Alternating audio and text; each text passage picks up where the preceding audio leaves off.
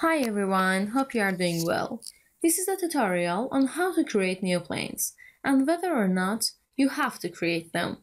Let's jump right to it. Golden rule of creating new planes is to define at least one and at most three references to have a fully defined plane.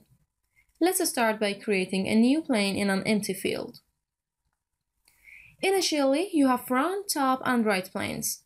Planes are here, insert, reference geometry and planes. Notice you have three references and a message over here that reads select references and constraints. Since this is an empty field, you have only three planes. I'll choose the front plane and the message changes immediately to fully defined. And your first reference sets as front plane while second and the third are still empty. You have some options here in the property manager, parallel, perpendicular, coincident, at angle, and offset distance.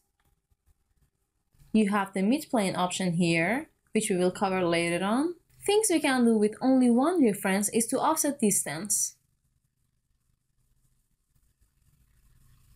Like this. You can have it more than one with the same distances here and you can flip them to the other side. If I'm going to go and choose my second reference here, it reads the references are not valid. Because first I have four planes here, second, SOLIDWORKS cannot make sense of two perpendicular planes when the offset distance is activated. But if I choose the midplane option here, it becomes fully defined. What it does is, it gives you the plane at a 45 degree angle between your two references and you can either flip to this side or the other side.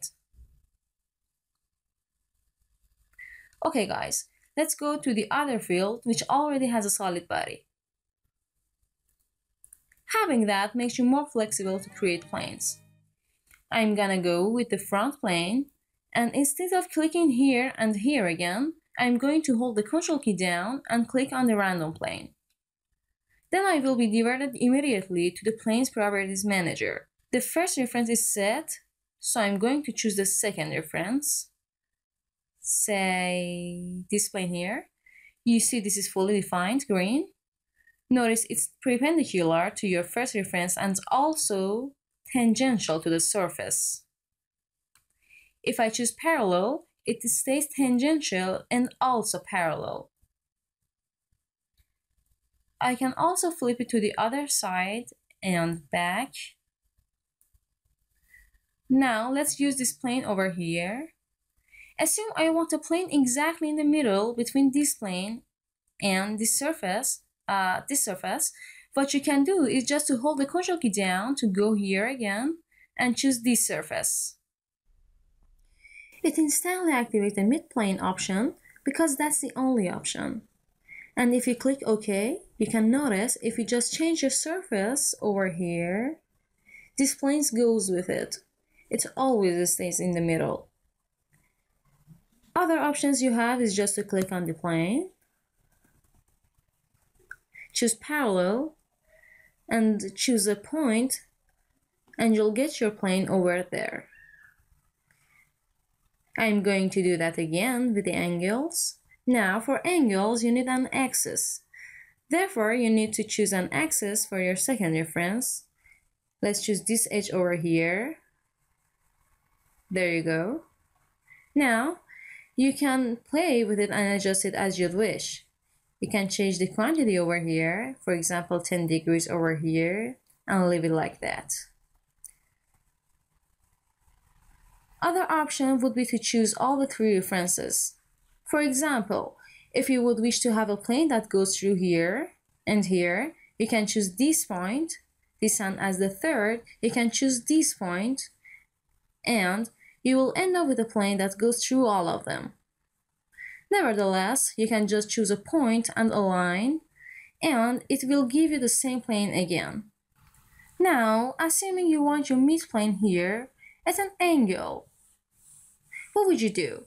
Because you don't have any edge to rotate it around. You'll have to draw a line on it Maybe have it pierce to the body and go here.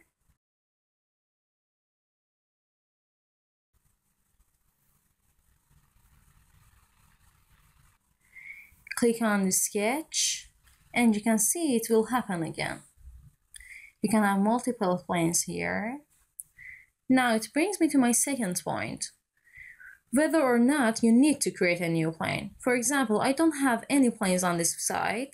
I only have one here and I can definitely make a sketch on it, right?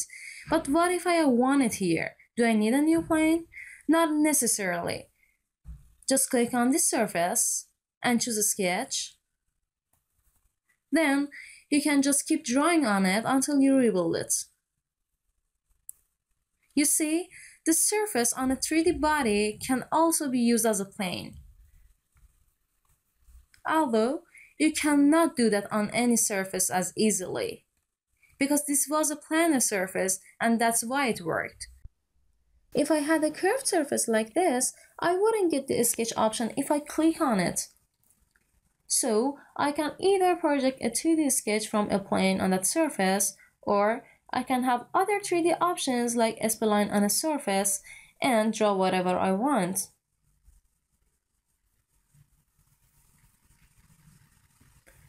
This is called a 3D sketch which is laying on top of the curved surface.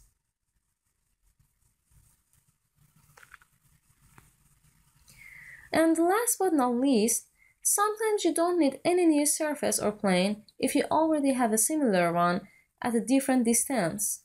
Say I want to cut a hole on the surface at an angle.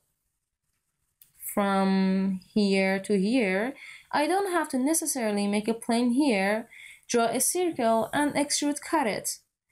I can simply choose this existing plane here and draw my circle on it, extrude cut it, exactly from the same surface, but I change my from option to offset, say 30 millimeters, extruded 25 that's too much. 23 there you go. This is the result I got. Um, let's hide them.